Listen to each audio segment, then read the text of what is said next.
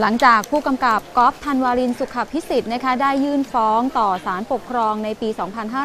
2553 เพื่อให้เพิกถอนคำสั่งแบนภาพยนตร์เรื่อง Insects in the Backyard ของคณะกรรมการภาพยนตร์และวิดิทัศน์แห่งชาติ ที่ให้เหตุผลว่ามีเนื้อหาขัดต่อศีลธรรมอันดีของประชาชนเมื่อช่วงเช้าวันนี้นะคะศาลปกครองได้มีคำพิจารณา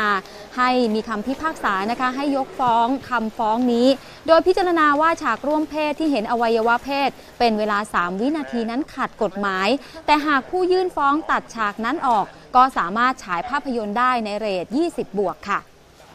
ศาลเห็นว่าการที่หนังเรื่อง Insect in the Backyard เนี่ยมีฉากที่เป็นการมีเพศสัมพันธ์เนี่ย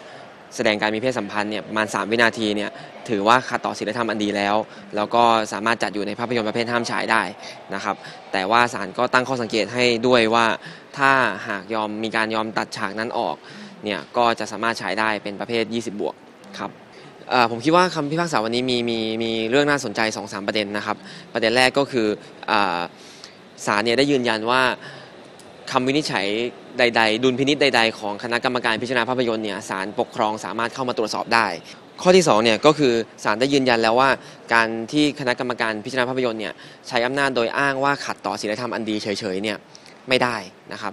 เพราะว่าเรามีกฎกระทรวงที่กำหนดรายละเอียดเกี่ยวกับการพิจารณาภาพยนตร์เอาไว้แล้วว่า หนังที่จะเป็นหนังประเภทห้ามฉายเนี่ยจะต้องมีลักษณะอะไรบ้าง เพราะฉะนั้นถ้ากรรมการจะมาอ้างคำว่าขัดต่อศีลธรรมอันดีลอยๆเนี่ยไม่เพียงพอ แต่ว่าจะต้องชี้ให้ชัดถึงหลักเกณฑ์ในกฎกระทรวงด้วยว่ามันเข้าลักษณะไหนถึงถึงไม่ให้ฉาย ข้อสุดท้ายเนี่ยที่เป็นข้อสังเกตสำคัญก็คือว่าศาลได้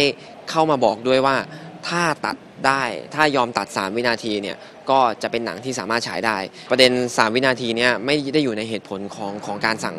แบนเลยตั้งแต่แรกนะครับ ทุกชั้นในทั้งชั้นคณะกรรมการพิจารณาภาพยนตร์แล้วก็ทั้งบอร์ดชาติเนี่ยไม่เคยให้เหตุผลเรื่อง 3 วินาทีนี้เลยนะครับ แต่พอมาในชั้นศาลเนี่ย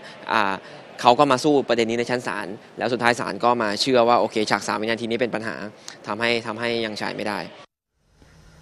หลังจากนี้นะคะผู้สร้างภาพยนตร์สามารถยื่นอุทธรณ์ต่อศาลปกครองได้ภายใน 30 วันค่ะ